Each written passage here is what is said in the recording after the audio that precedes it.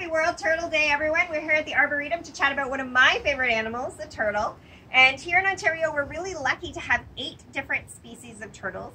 Unfortunately, seven of those are listed as species at risk. The only one that isn't quite yet are the Midland painted turtles like this little guy here who's got nice bright colorful yellow and orange markings along their neck and shell.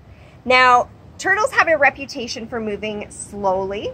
Now they do move fairly quickly when they want to. They are on the move at this time of year. The hatchlings are heading back to the wetlands, leaving their nests, and females are out trying to find good places to make a nest to lay their eggs. They do have a very slow life cycle though. They can live up to 100 years. Snapping turtles are one of the longest lived species that we have in Ontario. And some of the species take between 15 and 20 years to reach reproductive maturity. So it takes a long time for populations to grow.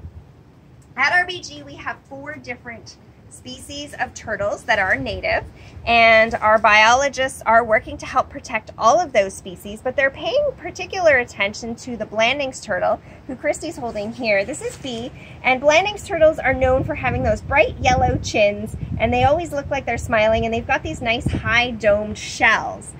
Um, and so they're a really uh, very pretty looking turtle but we don't have very many of them left here at RBG, so we're working extra hard to try and protect them.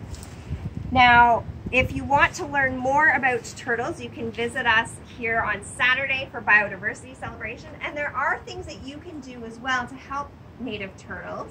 Uh, if you see a turtle crossing the road, if it's safe to do so, please move them in the direction that they're heading. You can also help support initiatives for wildlife corridors like the one RBG set up along Cootes Drive to help protect turtles crossing the road. And you can document or submit your sightings to uh, citizen science apps such as Ontario Nature's Ontario Reptile and Amphibian Atlas. And that is a program that provides data to scientists so that they can determine the location of different turtle species. So we hope you can join us to learn more about our turtle friends.